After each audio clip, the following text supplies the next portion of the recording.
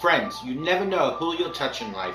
You never know how or when you'll have an impact or how important your example can be to someone else.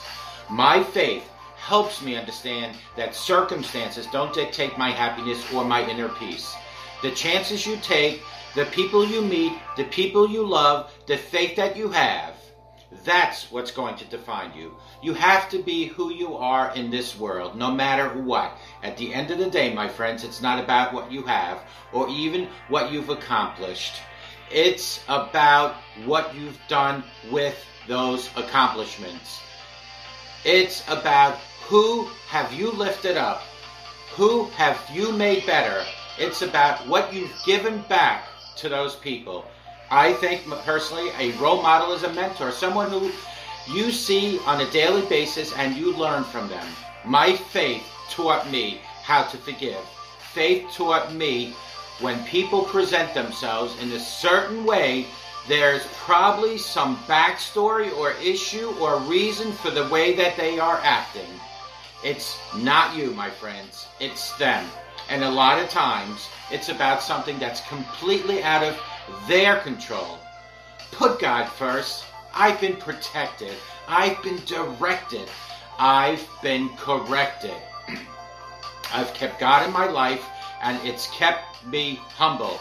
I didn't always stick with Him, but He always stuck with me. Don't be afraid to think outside the box. Don't be afraid to fail big, to dream big. But remember, dreams without goals are just dreams and they ultimately fuel disappointment. And understand to achieve these goals, you must apply discipline and consistency. You'll never see a U-Haul behind a hearse. It's not how much you have in life. It's about what you do with what you have. It that's where the success is in helping others. Say thank you in advance for what's already yours that's how I live my life. True desire in the heart for anything good is God's proof to you sent beforehand to indicate that it's yours already. My advice is this, and it's simple. Don't just aspire to make a living. Friends, aspire to make a difference. And may God bless each and every one of you and take good care. Good Bye-bye. morning. My name is Ralf Friedrichs. I am an addiction recovery coach, a life coach, and author, and the host of this show, the Take Your Life Back Today radio show. You can see a video version of this if you go to YouTube under channel Take Your Life Back Today show. We're out here early in the morning. God has not turned the lights on yet.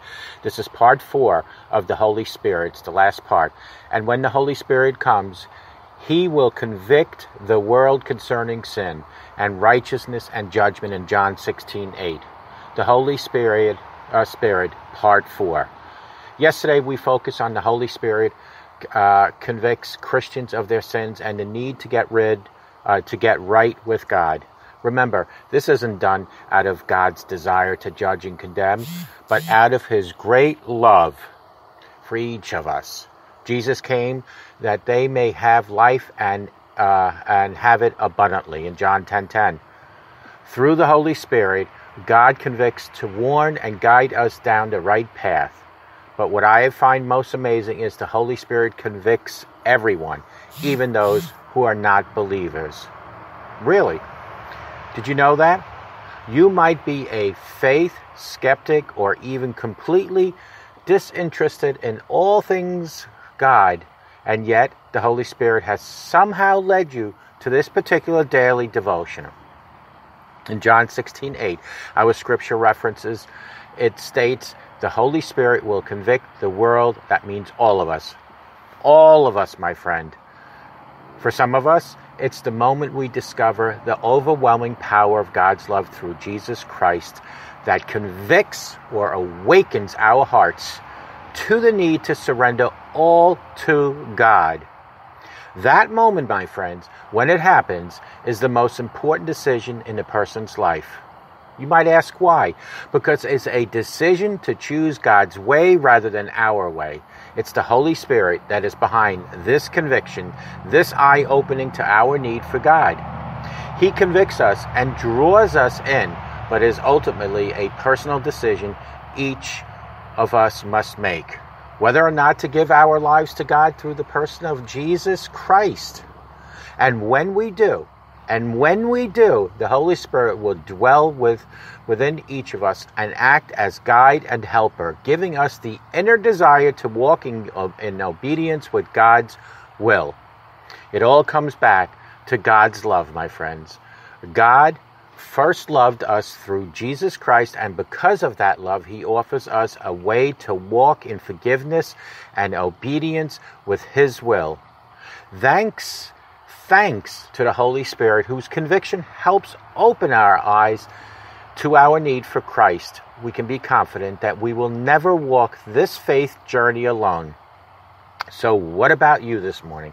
Have you felt the conviction of the Holy Spirit?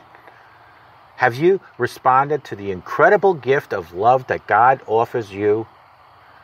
Think about that and call me at 844 405 HELP.